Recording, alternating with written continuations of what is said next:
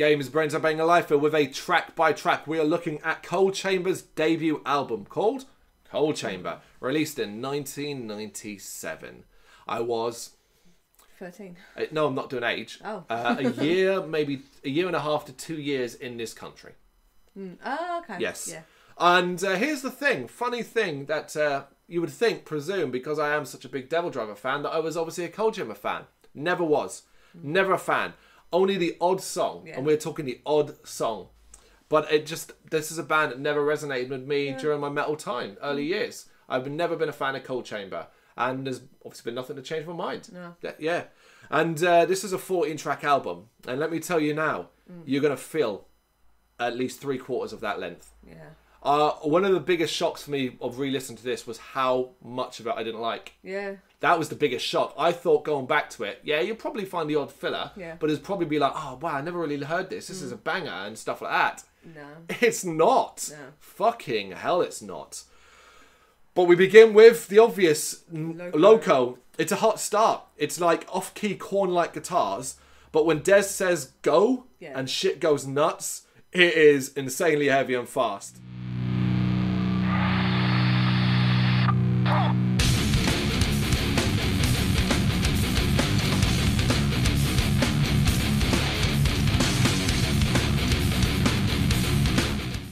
Um, it's lazy as fuck in regards to repetition. Oh, yeah. it really is.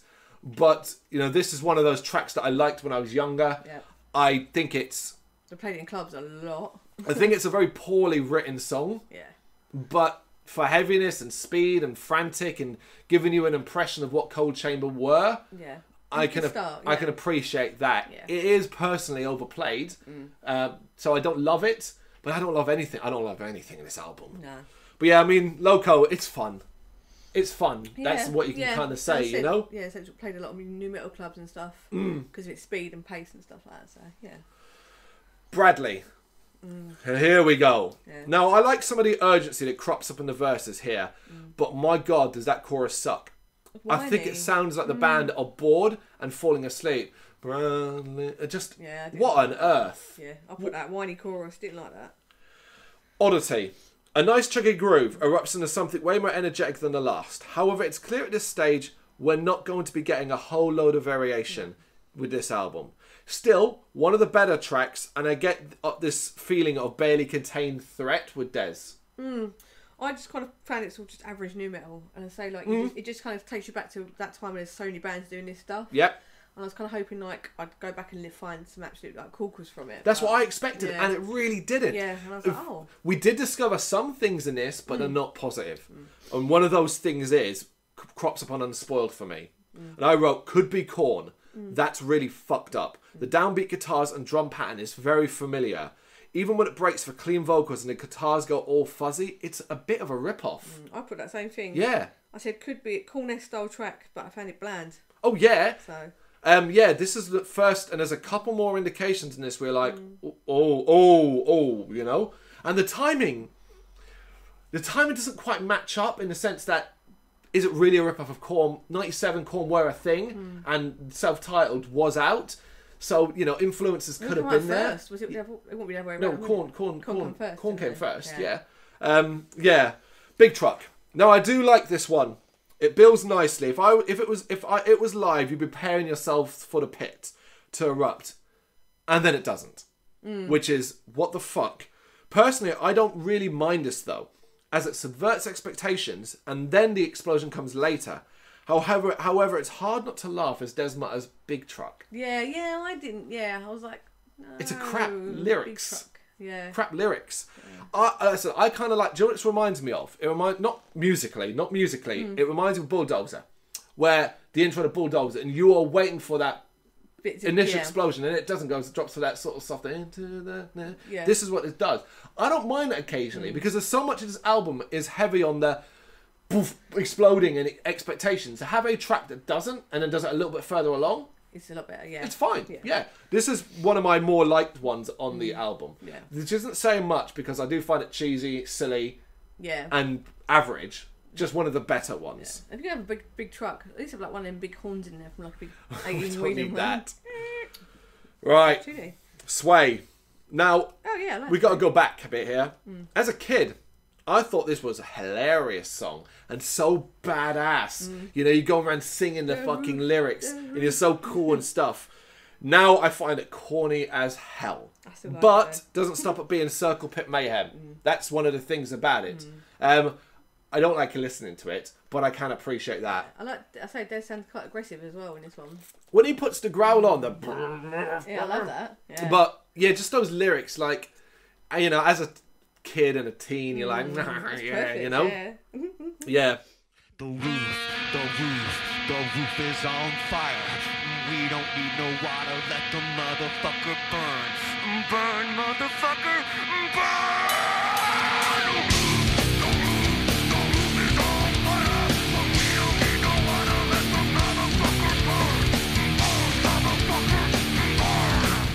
Uh, first, how boring is this track?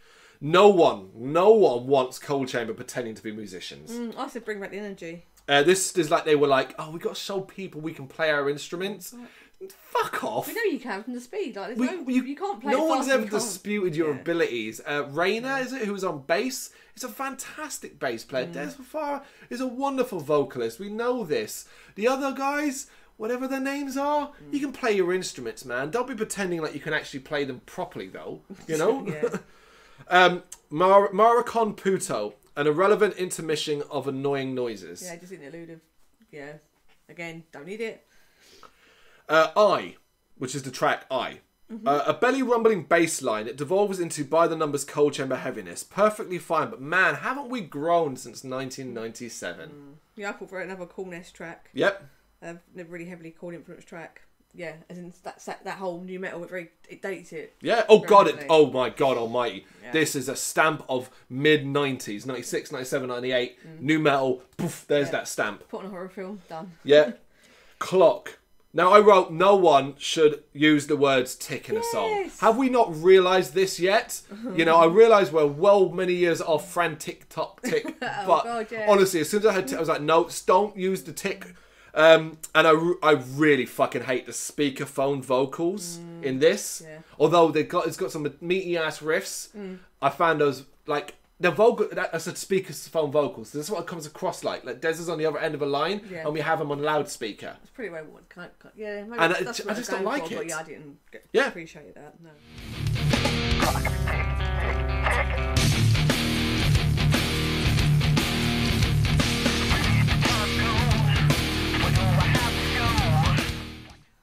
My frustration, an apt title is it is it is exactly how I feel about this track. Mm. Things have started to sound so repetitive that it's not even enjoyable anymore. I really don't care for this track at all, which is a shame as it has some desperate style vocals I do like.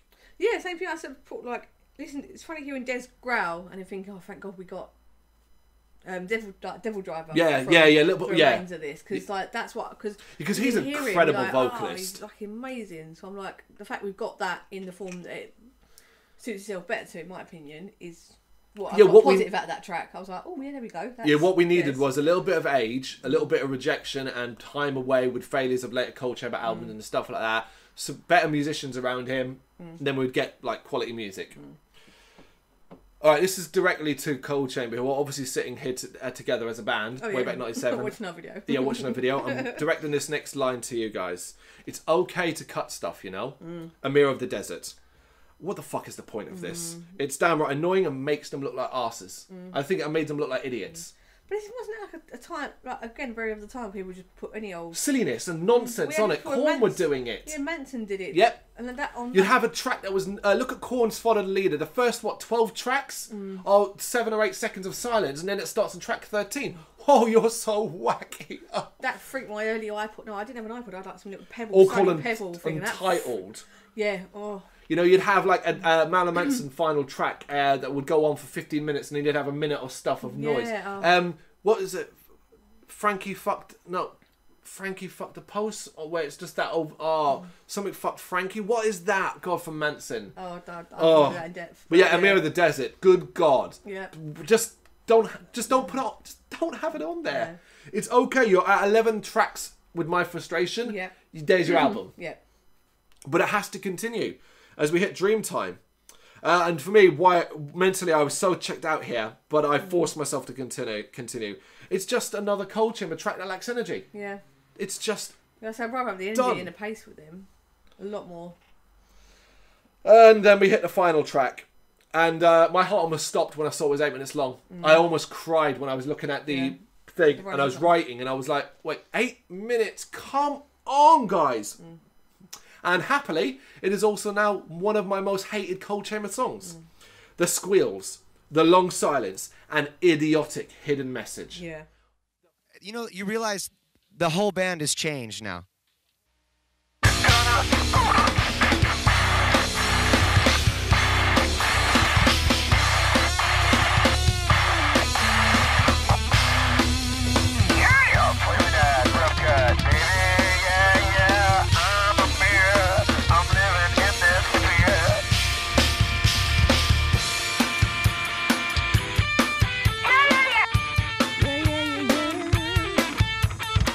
The f- exactly what we said with a mirror in the desert.